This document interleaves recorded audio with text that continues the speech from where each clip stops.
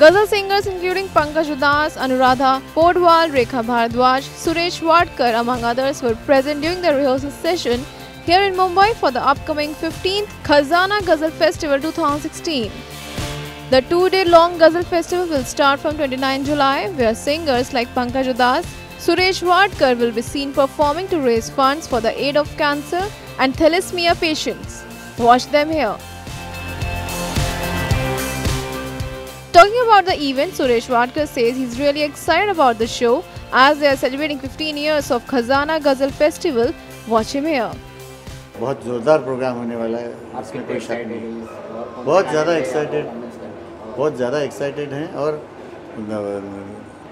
लोग भी ऐसे ऐसे सुनने आते हैं कि मज़ा आता है उनको सुनाते हुए और फरमाइशें भी करते रहते हैं तो अच्छा लगता है